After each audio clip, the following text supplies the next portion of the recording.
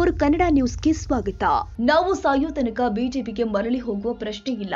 ಇದು ನೂರಕ್ಕೆ ನೂರು ಸತ್ಯ. ಸತ್ರೆ ನನ್ನ ಹೆಣವು ಕೂಡ ಬಿಜೆಪಿಗೆ ಹೋಗೋದಿಲ್ಲ ಅಂತ ಕಾಂಗ್ರೆಸ್ ಶಾಸಕ ರಾಜು ಕಾಗೆ ಹೇಳಿಕೆ ನೀಡಿದ್ದಾರೆ. ಬೆಳಗಾವಿಯಲ್ಲಿ ಶುಕ್ರವಾರ ಮಾಧ್ಯಮಗಳ ಜೊತೆ ಮಾತನಾಡಿದ್ದ ಅವರು, ಮರಳಿ ಬಿಜೆಪಿ ಸೇರ್ಪಡೆಯಾಗುತ್ತೀರಾ ಎಂಬ ಪ್ರಶ್ನೆಗೆ ಈ ರೀತಿ ಉತ್ತರಿಸಿದ್ದಾರೆ.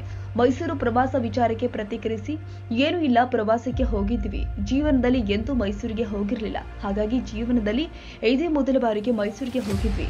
ಸಚಿವ ಸತೀಶ್ ಜಾರಕಿಹೊಳಿ ಅವರು ನಮ್ಮ ಜೊತೆ ಇರಲಿಲ್ಲ. ಕತೆ ಕಟ್ಟಿ ನೀವೇ ಅದಕ್ಕೆ ಹೆಚ್ಚು ಮಹತ್ವ ಕೊಡ್ತಾ ಇದ್ದೀರಿ. ಬೆಳಗಾವಿ ಜಿಲ್ಲೆಯಲ್ಲಿ ನಾಲ್ಕು ಜನ ಶಾಸಕರಿದ್ದು ಪ್ರವಾಸ ಮಾಡಿದ್ವಿ. ನಮಗೆ ಸತೀಶ್ ಜಾರಕಿಹೊಳಿ ಭೇಟಿ ಆಗಿಯೇ ಇಲ್ಲ ಎಂದರು. ಸರ್ಕಾರದ ಪರ ವಿರುದ್ಧ ಮಾತನ್ನೇ ನಾವು ಆಡಿಲ್ಲ.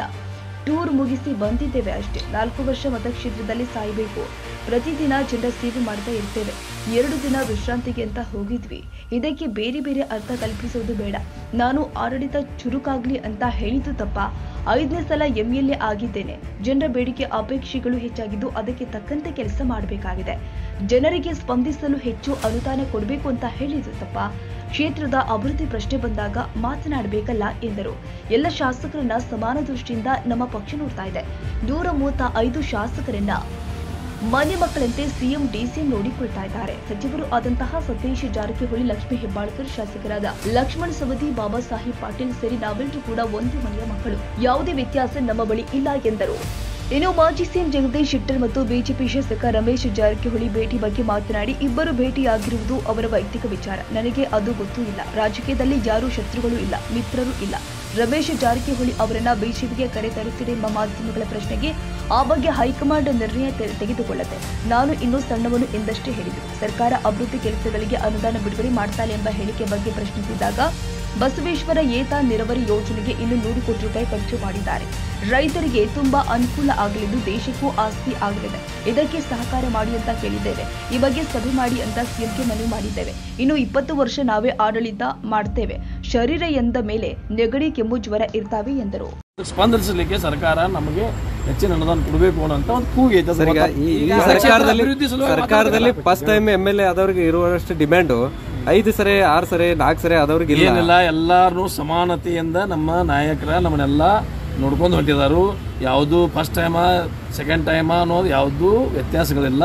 ಎಲ್ಲರೂ ಎಲ್ಲಾರು ಎರಡು ಒಂದು ನೂರ ಮೂವತ್ತೈದು ಜನರನ್ನ ಅಗದಿ ಎಲ್ಲರೂ ಒಕ್ಕಟ್ಟಾಗಿ ಮನೆಯ ಮಕ್ಕಳನ್ನ ನೋಡ್ಕೋತಾರಲ್ಲ ಆ ತರ ಎಲ್ಲಾರು ನಮ್ಮ ಡಿ ಕೆ ಶಿವಕುಮಾರ್ ಆಗಲಿ ಅಥವಾ ನಮ್ಮ ಮುಖ್ಯಮಂತ್ರಿ ಆಗಲಿ ನಮ್ಮ ಜಿಲ್ಲಾ ಮಂತ್ರಿಗಳಾಗಲಿ ಲಕ್ಷ್ಮೀ ಅಕ್ಕ ಹೆಬ್ಬಾಳ್ಕರ್ ಆಗಲಿ ಲಕ್ಷ್ಮಣ್ ಸೌದಿ ಆಗಲಿ ನಾವು ಒಂದೇ ಮನೆ ಬಾಬಾ ಸಾಹೇಬ್ ಪಾಟೀಲ್ರು ಆಗಲಿ ಮತ್ತೆ ಯಾರಿದ್ದಾರೆ ಇಲ್ಲಿ. ಎಲ್ಲರೂ ಒಂದೇಯ ಮನೆಯ ಮಕ್ಕಳಂತೆ ಇದೀವಿ. ಯಾವುದು ವ್ಯತ್ಯಾಸ ಇಲ್ಲ.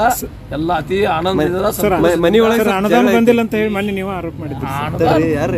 ಅನುದಾನದಿಲ್ಲ. ಅನುದಾನದ ಪ್ರಶ್ನೆ ಇಲ್ಲ. ಬಸವೇಶ್ವರ ಯಾತ ನೀರಾವರಿಗೆ ಹನ್ನೆರಡು ನೂರು ಕೋಟಿ ಈಗಾಗಲೇ ಬಿಡುಗಡೆ ಮಾಡಿ ಖರ್ಚು ಮಾಡಿದೀವಿ. ಇನ್ನೊಂದು ನೂರು ಕೋಟಿ ಖರ್ಚು ಮಾಡಿದ್ರೆ ಅದು ಒಂದು ಯೋಜನೆ. ಇಪ್ಪತ್ತೇಳು ಸಾವಿರ ಹೆಕ್ಟರ್, ಅಂದ್ರೆ ಅರವತ್ತೈದು ಸಾವಿರ ಎಕರೆ ಜಮೀನನ್ನ ಮೂವತ್ತು ಹಳ್ಳಿಗಳಿಗೆ ಅಭಿವೃದ್ಧಿ ಮಾಡಲಿಕ್ಕೆ ದೇಶಕ್ಕೆ ಒಂದು ಕೊಡುಗೆ ಕೊಡೋ ಕೊಟ್ಟಾಗ ಒಂದು ಕೊಡುಗೆ ಕೊಡುತ್ತಪ್ಪ. ದೇಶಕ್ಕೆ ಒಂದು ಆಸ್ತಿ ಆಯ್ತು ಅದು. ಒಂದು ಆಸ್ತಿ ಮಾಡಲಿಕ್ಕೆ ತೊಂದರೆ ಯಾಕೆ ಲೇಟ್ ಯಾಕೆ, ವಿಳಂಬ ಯಾಕೆ ಮಾಡ್ತಾ ಇದ್ದೀರಿ? ನನ್ನ ಆಸ್ತಿ ವೈಯಕ್ತಿಕ ಅಲ್ಲ ಅದ ದೇಶದ ಆಸ್ತಿ. ದೇಶದ ಆಸ್ತಿ ಮಾಡ್ಲಿಕ್ಕೆ ಸಹಕಾರ ಮಾಡ್ರಿ ಅಂತ ಕೇಳ್ಕೊಂಡಿದ್ದೀವಿ ಇವತ್ತಪ್ಪ, ನನ್ನ ಮತಕ್ಷೇತ್ರದಲ್ಲಿ ಹದಿಮೂರು ನೂರಿ ಕೋಟಿ, ಅರವತ್ತೈದು ಸಾವಿರ ಎಕರೆಗೆ ನೀರಾವರಿ. ಅದನ್ನ ಮಾಡಿರಿ ಅಂತೇಳಿ ಇನ್ನೂ ಸಹಿತ ಕಂಡು ಬಿದ್ದಿದ್ದೀವಿ ನಿನ್ನೆ ಮುಖ್ಯಮಂತ್ರಿಗೆ ಭೇಟಿಯಾಗಿ, ಸರ್, ಅದನ್ನೊಂದು ಪ್ರೈವೇಟ್ ಮೀಟಿಂಗ್ ಕರೀರಿ. ಈ ಮೊನ್ನೆ ಒಂದು ಹದಿನೈದು ಕೋಟಿ ಬಿಡುಗಡೆ ಮಾಡಿದಾರು. ಇನ್ನೊಂದು ಹದಿನೈದು ಕೋಟಿ ಬಿಡುಗಡೆ ಮಾಡಿರಿ, ಅದನ್ನು ನೀರು ಬಗಸ್ತೀವಿ ಅಂತ ಹೇಳಕತ್ತಿದ್ದೀವಿ. ಇಷ್ಟೇ ಮತ್ತೆ ಏನೂ ಇಲ್ಲ. ಎಲ್ಲರೂ ಕಾಂಗ್ರೆಸ್ದಲ್ಲಿ ಯಾವುದೂ ಭಿನ್ನ ಅಭಿಪ್ರಾಯ ಇಲ್ಲ, ಏನೂ ಇಲ್ಲ. ಇನ್ನೂ ಇಪ್ಪತ್ತು ವರ್ಷ ನಾವು ಆಡಳಿತ ನಡೆಸ್ತೀವಿ. ಇಪ್ಪತ್ತು ವರ್ಷ ನಾನು ಬಾಬಾ ಸಾಹೇಬ್ ಪಾಟೀಲ್ರು ಎಲ್ಲರೂ ಎಂ ಎಲ್ ಎ ಆಗಿರ್ತೀವಿ.